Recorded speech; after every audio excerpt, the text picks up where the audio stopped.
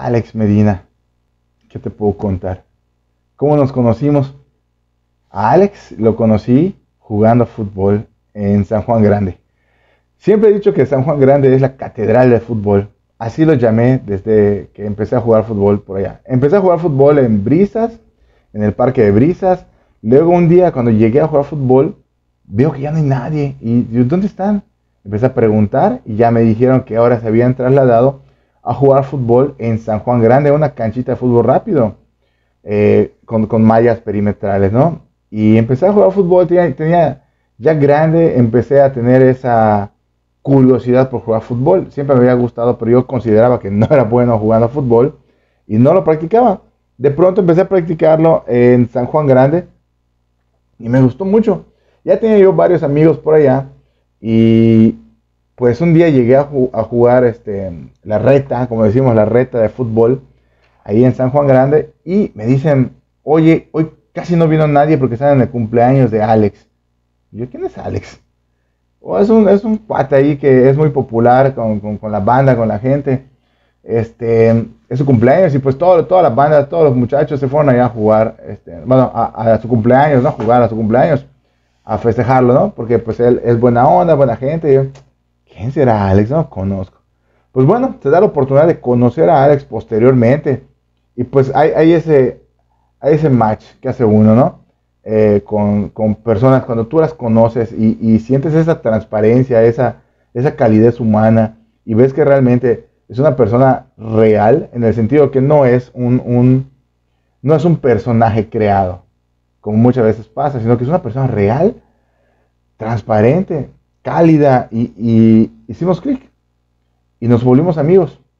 Y así como me llevaba con todos los que yo podía llevarme eh, en San Juan, eh, me hice muy amigo de Alex. Nos llevamos muy bien. Tuve la oportunidad de, llevarme muy bien con él, de conocer a su familia, eh, de ir a su casa, platicar, comer.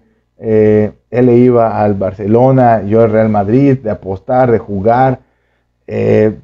Fuimos varias veces al cine a ver este, en Star Wars, era súper fan de Star Wars.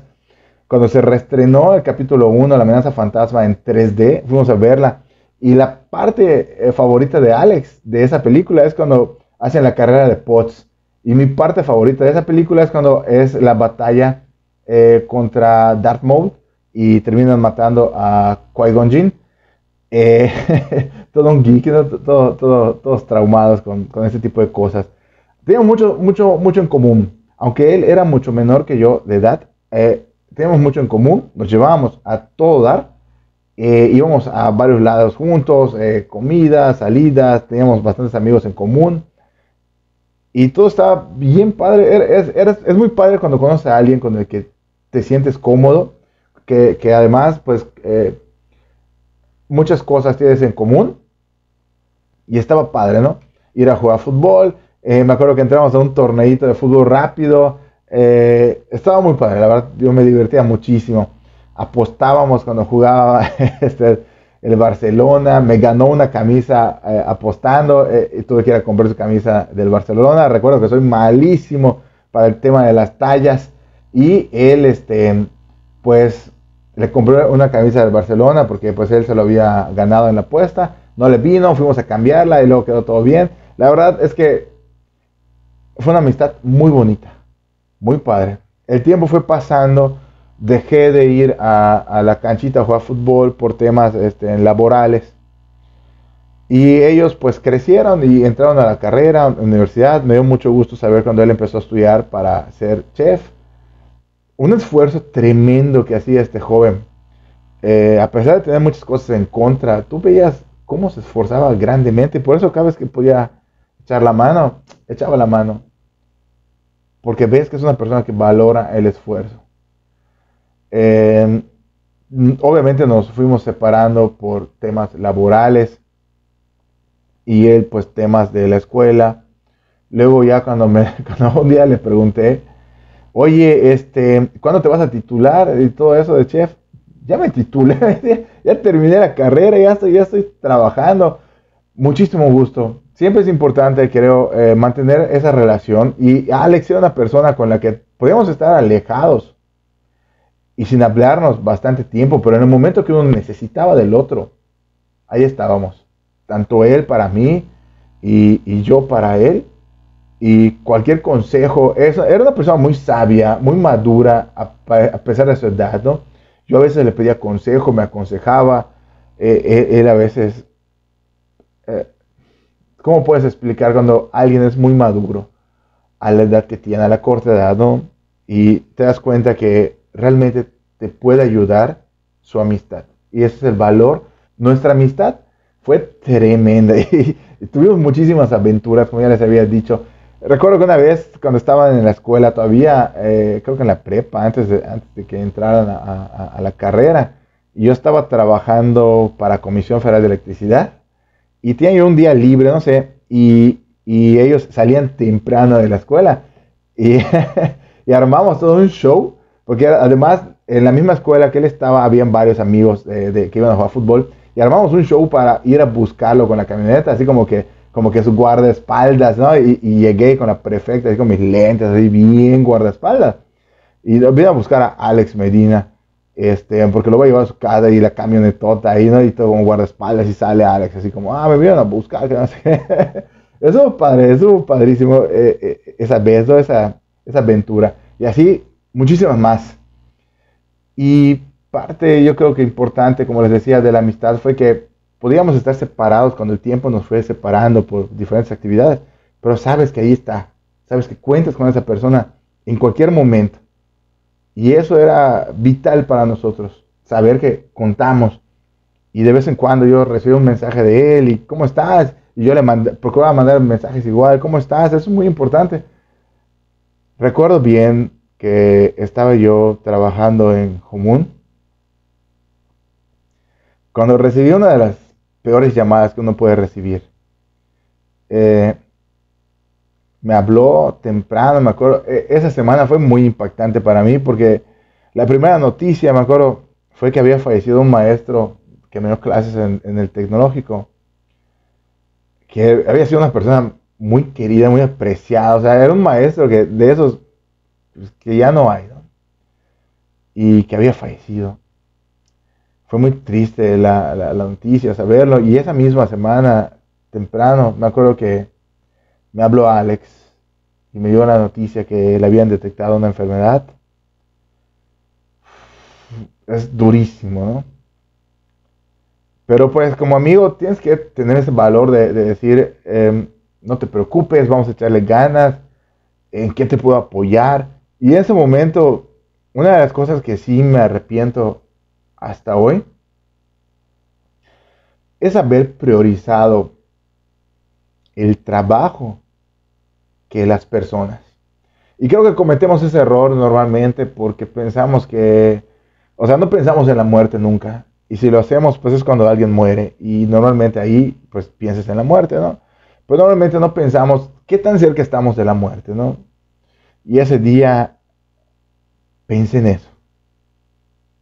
En ese momento hablé con, el que era mi jefe y le dije, tengo que ir a ver a mi amigo. Voy a ir a ver a mi amigo. Y pospuse un poco esa ida por, pues por trabajar, por pensar que, que el trabajo era muchísimo más importante que eso. Bueno, me acuerdo que estando en Acanqué, estaba yo muy golpeado por esa situación y hablar por teléfono con él e-, era durísimo porque sabes lo que tiene. Y, y pues entonces hice algo que, que, ahorita, que yo no sabía que era bueno para hacer eso, pero pues ahorita me doy cuenta que sí, ¿no? Le grabé un video. me acuerdo que me grabé un video como un videoblog, eh, estando en la casa donde vivía en Acanqué. Muy emotivo, y me acuerdo que en ese video me dieron ganas de llorar, pero corté y luego volví a grabar. Porque no quería romperme, quebrarme frente a él. Lo que quería era impulsarlo. Y di todo lo que tenía para darle muchísimos ánimos a mi amigo Alex. Recibió el video, me acuerdo, me contestó. Le estaba echando muchísimas ganas. Tanto así que en diciembre pudo salir para estar con su familia, creo que un día, dos días. Y fue una, fecha muy importante. Porque pudo hacerlo. Y para ese momento yo todavía no había visto a Alex más que por videollamada o, llamada.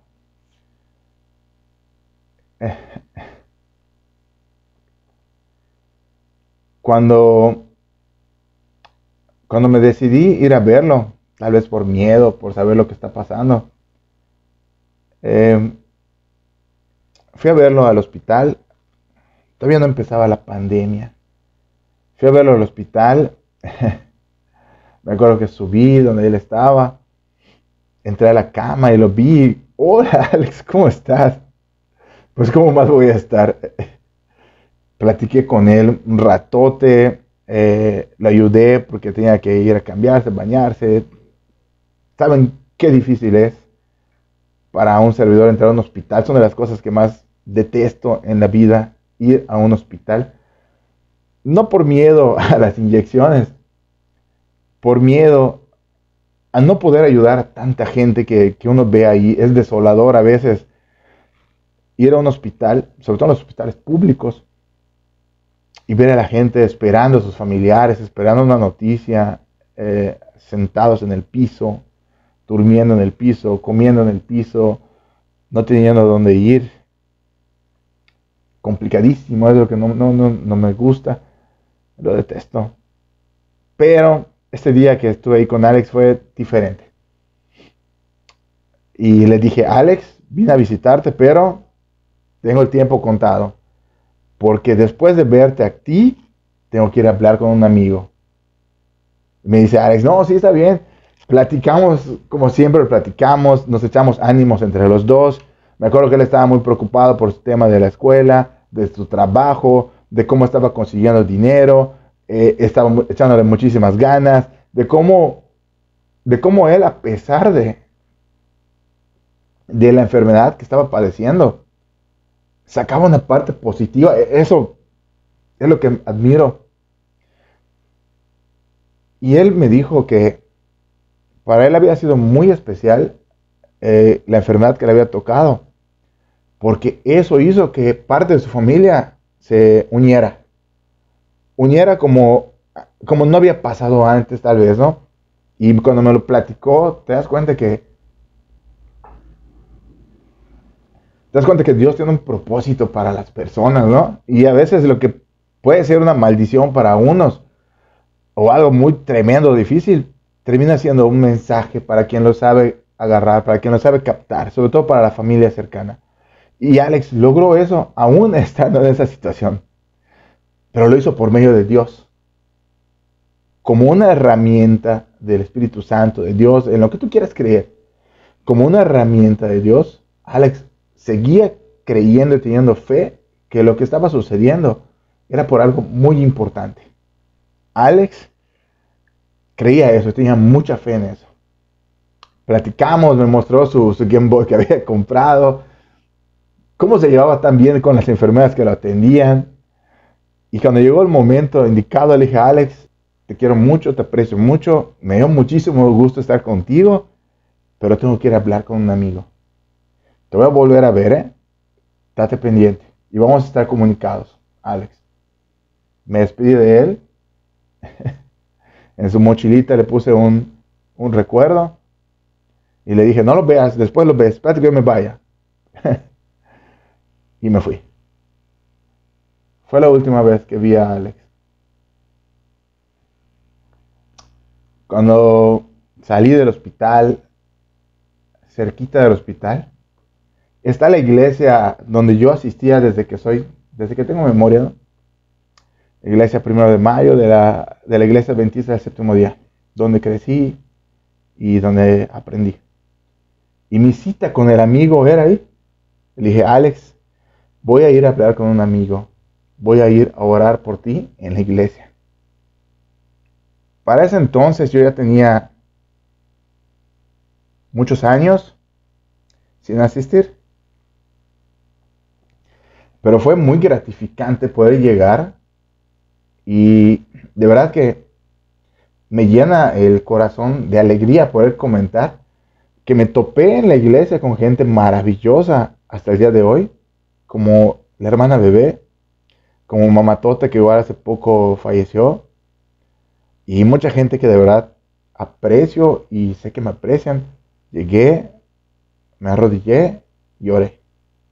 Oré como hace tiempo no lo hacía, pidiendo por Alex, para que se cumpliera lo que Dios quisiera. Es muy difícil a veces entender los caminos que Dios nos pone, ¿no?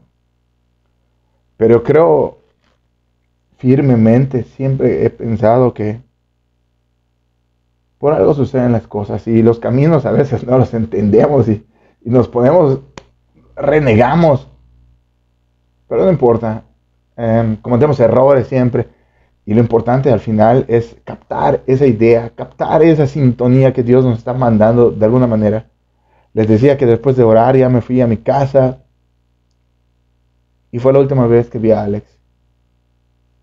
Em, le agradezco mucho a, a los amigos que estuvieron pendientes, no solo de Alex, también de mí, porque yo estaba lejos en común, ah, lejos, entre comillas. No recuerdo la fecha, ni la quiero recordar, no porque sea doloroso, sino porque deja de ser importante para mí la fecha, sino lo que es importante es lo que marcó en mi vida, la vida de Alex. Una noche me hablan, Esteban, te mando un fuerte abrazo, Esteban, te agradezco de todo corazón esa llamada. Si recibir la llamada de que está enfermo fue muy complicado por el tipo de enfermedad, recibir la llamada de que falleció Era, no recuerdo ni la hora, pero ya de noche, estaba acostado durmiendo. Recibí la llamada. Alex falleció. Lo tomé como es, con madurez. Me volví a dormir.